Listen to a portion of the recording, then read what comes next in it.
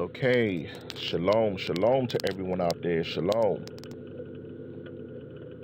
Shalom, shalom. Hopefully, y'all can hear me. Let me fix this mic real quick. Hold on.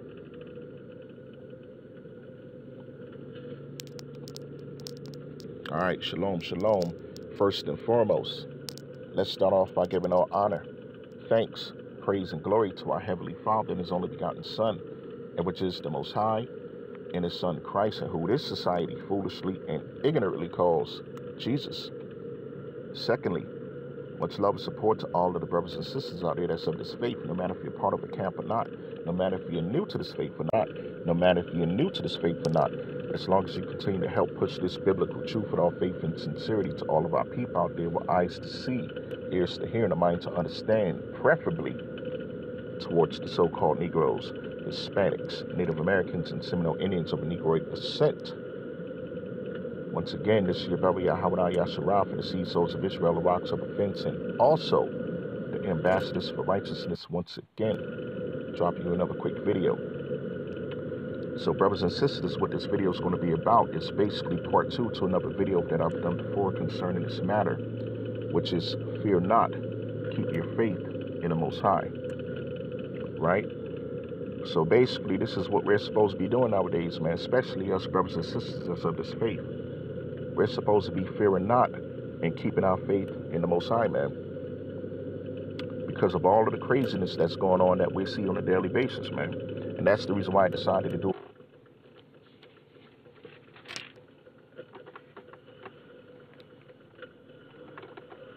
Okay, so in the book of Deuteronomy, chapter 6, and I'm going to start at verse 4, and it reads Hear, O Yasharallah, which is Israel, all right, which is the 12 tribes of Israel, and the descendants of the 12 tribes, which is the so called Negroes, Hispanics, Native Americans, and Seminole Indians of Negro descent, right? Hear, O Israel, the Lord our God is one Lord, which is the Most High. Our power is one power, man, right? Verse 5 And thou shalt love the Lord thy power with all thine heart, which is all your mind, right? And with all thy soul, which is your body, and with all thy might, okay? With all your willingness, all right? So this is what we're supposed to be doing, man. We're supposed to be cleaving on to the most high power, which is the God of the Bible, the God of Israel during these perilous times, man, right? Let's read that again. And thou shalt love the Lord thy God with all thy heart, and with all thy soul, and with all thy might. All right, let's jump down to verse 7. And thou shalt teach them diligently unto thy children, and shalt talk of them when thou sittest in thy house, and when thou walkest by the way, and when thou liest down, and when thou risest up. Okay, so this is what we're supposed to be doing, man. No matter what's going on around us, all of this craziness that's going on around us, man, we're supposed to be keeping our minds fixated on the Most High's law, statutes, and commandments, and teaching them to our families, man, teaching them to our wives, teaching them to our children, all right? Our next door neighbors, if they're willing to hear, if they have an ear to hear, a mind to understand, and eyes to see, right? So this is what we're supposed to be doing, man. We're all we all supposed to stay fixated and keeping the Most High's law, statutes, and commandments, man. All right. But as the scripture says, you know, charity starts at home first, right?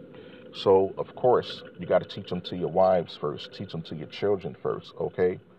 And then, you know, it's exonerated outside of the household, right? Verse 7 again. And thou shalt teach them diligently unto thy children, and shalt talk of them, okay, which is the law, statutes, commandments, when thou sittest in thy house, okay? So if you just sitting down, chilling, watching TV or whatever, or having a little dinner, you know what I'm saying? Talk about the commandments, man, or relate what's going on today in the world to the statutes and the commandments of the Most High, right? And the laws. And shall teach them when thou sittest in thy house and when thou walkest by the way. So if you're taking a little walk through your neighborhood or whatever, or if you're taking a little drive with your family, you know what I'm saying, or, or even your, your, your homies or whatever, man, if they're, you know, just like I said, if they have an ear to hear and a mind to understand, you can teach that to them too, man if they don't know anything about the law, statutes, and commandments of the Most High, right? And when thou walkest by the way, and when thou liest down and when thou risest up. Okay, so before you even go to bed at night, man, you know, you should have your mind fixated on the law, statutes, and commandments of the Most High, even when you're waking up. All right, just as Paul says in the New Testament, you know, pray without ceasing. You know, stay diligently in these laws, man, as it says in the book of uh, Joshua, the first chapter. Right? So this is what we're supposed to be doing, man, and teaching it to our families when they lies down and when they rises up in the morning, right? Verse 8. And thou shalt bind them for a sign upon thy hand, and they shall be as frontlets between thy eyes. Okay? So, like I was saying before, man, always keep your mind fixated on the law, statutes, commandments of the Most High. As a matter of fact, always keep the Most High on your mind, man, and His Son, Hamashiach, right? Let's go to Deuteronomy, the seventh chapter. And I'm going to start at verse 7. And it reads as follows The Most High did not set His love upon you, nor choose you, because ye were more in number than any people, for ye were the fewest of all people. Okay, so that just goes to show that this is talking about us, man. You know, who's known as the minorities of the world. I mean, just look up the definition of minority, right? And that'll show you exactly what that's talking about. Verse 8. But because the Most High loved you, all right, children of Israel and the descendants of the children of Israel, which is the so called Negroes, Hispanics, Native Americans, and Seminole Indians of Negroid descent. But because the Most High loved you, and because he would keep the oath, okay, which he had sworn unto your fathers or your forefathers, have the Most High brought you out with a mighty hand and redeemed you out of the house of bondmen, okay? Which is basically today known as your, your oppressors, your slavers, okay? From the land of the Pharaoh king of Egypt, all right? So in this sense right here, you could just look at the Pharaoh being as the ruler, okay? Or a queen or something, or you know, ambassador to a country or even a president, right? A POTUS. Okay, so that's all that is, right? Pharaoh, king of Egypt. And then when you look up the definition of Egypt, it's synonymous with bondage, okay? And then, of course, if you want to take a step further, bondage is slavery and oppression. All right, verse 9. Know therefore that the Most High, thy God, which is your God, your power, he is God, okay? He is the most high power, the faithful God, which keepeth covenant and mercy with them that love him and what? Keep his commandments to a thousand generations. All right, so this is what we're supposed to be doing, man. So despite what's going on, always keep the statutes, the commandments of the Most High, and keep your mind fixated on them, right? Let's go to the book of Sirach, which is the book of Apocrypha, Salakia, the book of Ecclesiasticus, and the book of Apocrypha. Okay? Chapter 2.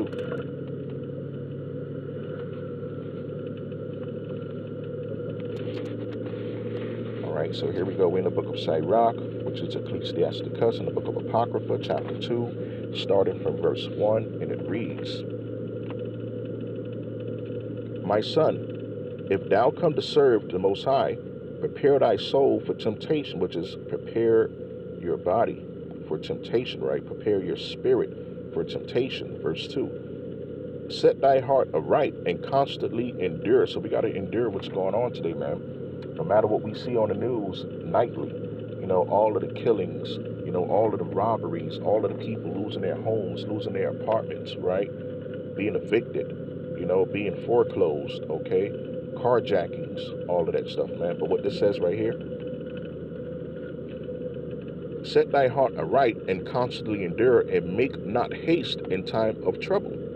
All right. So, as I said, you know, this is like the title to this video. You know, fear not, keep your faith in the Most High. All right. Cleave unto him and depart not away, that thou mayest be increased at thy last end. Verse 4. Whatsoever is brought upon thee, take cheerfully, and be patient when thou art changed to a lower state. So this is what's going on now, man, with our people. we're being changed to a lower state, right? We're being forced to do things that we don't want to do, that we wouldn't normally do, just to keep a job or to keep a roof over our heads or food on our table, right? But what the Most High said again, whatsoever is brought upon thee, take cheerfully and be patient when thou art changed to a lower state. Verse 5. For gold, okay, so this is what the Most High think of us, man. He think of us as gold, okay, which is the most precious item besides diamond, right? For gold is tried in the fire, and acceptable men in the furnace of adversity, all right? So if you considered as an acceptable man in the eyes of the Most High, then you're going to be tried in the furnace of adversity, man, right? He's going to prove you, all right? But what you're supposed to do, verse 6, believe in him, and he will help thee. Order thy way aright and trust in him, all right? So basically, he's telling you, no matter what's going on around you, man, keep your minds fixated on keeping my laws, statutes, and commandments. Okay? Keep your faith in me, and I'm going to redeem you. I'm going to save you out of your calamities, right? Verse 6 again from the top. Believe in him, and he will be. Order thy way aright, and trust in him. Verse 7. Ye that fear the Most High, wait for his mercy, and go not aside, lest ye fall. Okay, so when you start to go aside from the Most High, when you start dipping and dabbing into other things and and having faith in other false gods, man, having faith in Allah. All right, so like having uh, um, faith in Allah, the false god of Islam, okay? Having faith in Krishna and Shiva, the false gods of Hinduism, okay? Having faith in Buddha, the false god of Taoism, all right, with the, the Chinese, okay? Cesare Borgia and religious Christianity or churchianity, I should say, all right? All of these false gods and these sororities and fraternities and these secret societies. Okay? So this is why the Most High says this again in verse 7. Ye that fear the Most High, wait for his mercy, okay? Not Allah mercy, not Buddha mercy, okay? Not Krishna and Shiva mercy, not the Virgin Mary and Roman Catholicism mercy, okay? Not your false idol gods in Hinduism and, and um, paganism, okay? Jainism, all of these false multiple gods, not your, your ancestors in spirituality, okay, which is necromancy, by the way. But the Most High said again, man, verse 6 Ye that fear the Most High, wait for his mercy, and go not aside, okay? Don't go to those other false religions and gods, man, all right? Like a lot of our people are trapped in today. Religious churchianity and Islam, okay? That's not our gods, man. As it says here again, lest ye fall. All right, verse 8. Ye that fear the Most High, believe him, and your reward shall not fail. All right. Verse 9. Ye that fear the Most High, hope for good, and for everlasting joy and mercy. Verse 10. Look at the generations of old. Okay, so this is the Most High saying, look at the generations of old, man. Look at our ancestors, the one who kept faith in the Most High, right? Look at the generations of old and see, did ever any trust in the Most High and was confounded. All right, so he's letting you know, had faith and trust in me, the one and only true God, which is the God of the Bible. All right, which is the, the God of Israel, which is the 12 tribes, so called Negroes, Hispanics, Native Americans, Seminole Indians of Negro descent. All right, all of the people from that lineage of people, this is what the Most High said, man, verse 10 again from the top. Look at the generations of old and see, did any ever trust in the Most High and was confounded? Or did any abide in his fear and was forsaken? All right, so this is the Most High letting you know, man, who have I ever forsaken that had their mind fixated on me and keep my law, statutes, commandments, and believe in my, my son, the one and only true Hamashiach? Right? Verse 10 again from the top. Look at the generations of old. Look at your ancestors, man, and see did any trust in the Most High and was confounded, or did any abide in his fear, which is the Most High, and was forsaken? Or whom did he ever despise that called upon him? All right? So if you truly serve in the Most High, believing in the Most High and his son Hamashiach, and keeping his law, statutes, commandments to the best of your ability, he's not going to despise you, man. Right? Verse 11. For the Most High is full of compassion and mercy, long suffering, and very pitiful, and forgiveth sins. All right. and saveth in time of affliction, okay, which is nowadays what's going on with a majority of our people, man. They're going through a lot of afflictions, man. You know, a lot of people falling sick, a lot of people dying, dying in their sleep, dying on the way to work, dying on the way home from work, getting robbed on the way home from work, coming home and seeing a foreclosure sign on their door to their home, seeing an eviction notice on their door to their apartment, their refrigerators is empty, right? So this is what's going on, man. This is the affliction that's going on today, man. But what the Most High said again, verse 11, For the Most High is full of compassion, mercy, long-suffering, and very pitiful, and forgiveth sins, all right? That's only if you come back to serve him, right? Not if you're serving Allah, Buddha, Krishna, Shiva, Virgin Mary, and all of these false gods, man, okay, which is in Jainism and Hinduism, all right? Being a polytheist, worshiping all of these multiple gods, man. All right. But what it says in the book Deuteronomy, Hear, O Israel, okay, which is you so-called Negroes, Hispanics, Native Americans, and Seminole Indians of Negro descent, man. The Lord God, our God, is one, okay? It ain't no multiple gods, man. Verse 11. For the Most High is full of compassion, mercy, long suffering, and very pitiful, and forgiveth sins, and saveth in time of affliction. Verse 12 woe, which is destruction, when you look that up in definition, right? To the fearful hearts. Okay, so we are here fearing of losing your job, losing your money, losing your bank account, losing that bag, right? Because you won't comply with the mandates that's going on, right? But what the Most High says here again in verse 12, woe, okay, destruction, all right? Woe be to the fearful hearts, which is the fearful minds, and the faithful hands, and the sinner, okay, that goes both ways, or two ways as it's written here, right? Verse 13. Woe unto him that is faint hearted. Okay, so keep your faith in the Most High, man. All right? You know, don't be bending and bowing down to all of these crazy mandates that's going on, man, just because you fear that you're going to lose your car. All right? Your car is going to get repoed. Your house is going to get foreclosed. Your apartment is going to get evicted. Right? Woe to the faithful hearts, man, as it says here. Woe unto them that is faint-hearted, for he believeth not, therefore shall he not be defended. All right? So the Most High is saying he's not going to defend you, man. If you don't keep your faith in me, I'm not going to defend you because you don't have your faith in me. All right? You believing in Allah. You believing in uh, E. All right? Your oppressors. All right? Your, your, your slavers to your ancestors. All right? You trust in oppression. Okay? So this is what the Most High is saying, man. You don't have your faith in me. You're believing in Cesare Borgia, Virgin Mary, and Roman Catholicism. Okay? Your ancestors, which is already dead, which is necromancy. You're not even supposed to be calling on your ancestors, man. Your ancestors don't even know who you are, right?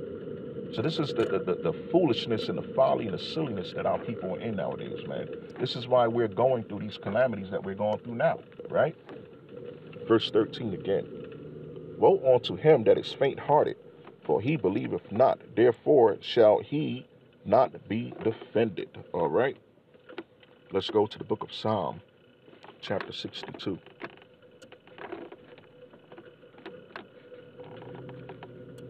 All right, bear with me one minute here, brothers and sisters. Let me fix this mic.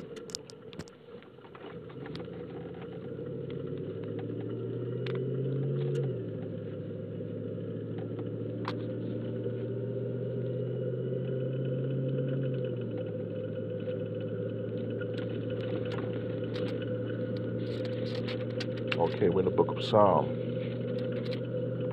chapter 62. And it reads Truly my soul waiteth upon the most high power. From him cometh my salvation. All right. Not from Allah, not from Virgin Mary, not from Buddha, Krishna, or Shiva, or Lucifer himself in these secret societies, right? What this says again, verse 1 in the book of Psalm 62 Truly, my soul waiteth upon the Most High. From him come my salvation. Verse 2. He only, okay, he only is my rock and my salvation. He is my defense. I shall not be greatly moved. Verse 3. How long will ye imagine mischief against a man? Ye shall be slain all of you. All right. So who this is talking about, man? You can get an idea from this, right? How long will ye imagine mischief against a man? Ye shall be slain, all of you, as a bowing wall shall ye be, and as a tottering fence. They only consult to cast him down from his excellency, all right, which is speaking of the Most High. So this is who they're trying to be, man. They're trying to be as the Most High. They're exalting themselves as the Most High, all right, trusting in their science, all right. When you hear them on the news, they don't even speak of the Most High, all right. Everything that come out of their mouths is science, science, trust in science, trust in the evolution, all right. According to the biblical scriptures, there's no such thing as evolution, all right. But as it says here again, they only to consult to cast him down from his excellency. They delight in lies, okay? They're delighting in their own lies, man. All right, telling you, oh, it's safe and effective, all right? But you see people dropping like flies all over the place, all right? But they're not going to show it on the nightly news, man. You got to actually diligently search these things out across the internet, right?